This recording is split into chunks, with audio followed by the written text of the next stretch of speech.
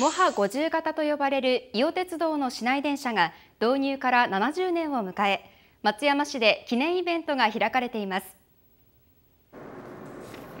伊予鉄道小町車両工場で開かれている記念イベント。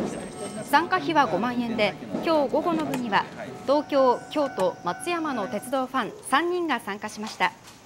そして運転士指導のもとモハ50型と呼ばれる市内電車を1人およそ30分間運転しました。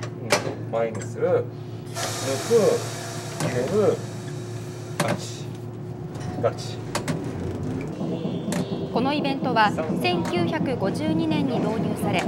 今も現役で13両が運行しているモハ50型の市内電車の70周年を記念したものです。子供の頃から乗ってるこの市内電車実家に運転できてすごく楽しかったです。